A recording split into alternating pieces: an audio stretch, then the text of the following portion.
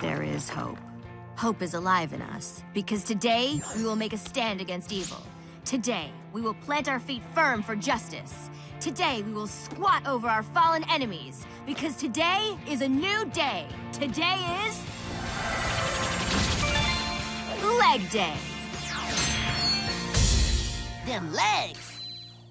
Lady Legasus, you have returned! Your upper body muscles have failed. Only the power of legs can save the world now. But this threat is bigger than your two well-defined legs. You're right. I'll need ten. Ten legs? You're gonna look crazy with ten legs! No, I'm gonna need your legs. But we have the poultry legs.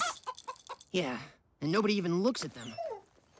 Legs are the most powerful muscle group, and if you follow me, we will be too. I'd follow those legs to the ends of the earth, Mama. Then your training begins now. But be warned, it won't be a walk in the park. It's gonna be a run in the park, probably with some weights on. Now let's shake a leg.